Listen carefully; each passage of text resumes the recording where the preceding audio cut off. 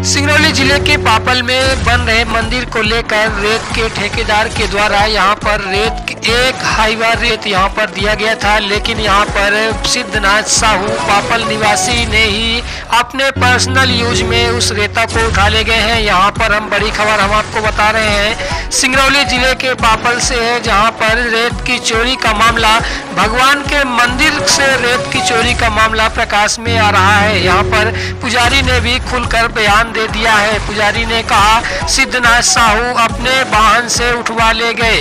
यहाँ पर अपने घर के लिए पर्सनल कार्य के लिए उठा ले गए हैं।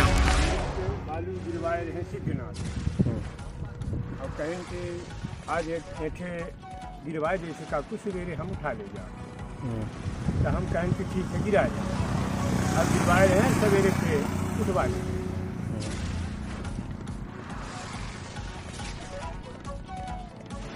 बस हमका यह है कहीं की मंदिर के नाम देखे बालू हम गिरवाए जैसे सवेरे हम उठा जाओ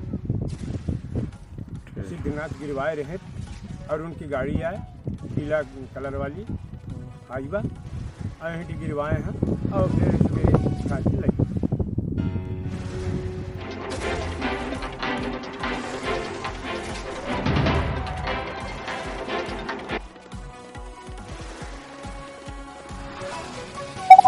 हेलो।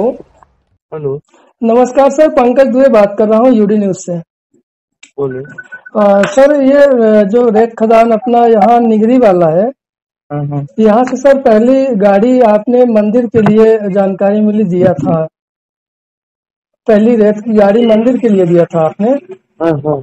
वो अ, किस मंदिर के लिए दिया था सर? और वो मंदिर के पास गया तो था लेकिन वहाँ से कोई पर्सनल व्यक्ति विशेष अपने घर में यूज़ कर लिया उस रेता को। क्या कहेंगे सर? हाँ हाँ क्या जानकारी मिली आपको? हाँ हाँ मिली है। तो क्या कहेंगे सर ऐसे लोगों को? कोई फ्रॉड बोल के फ्रॉडी काम करे तो उसमें हम लोग क्या कर सकते जी जी।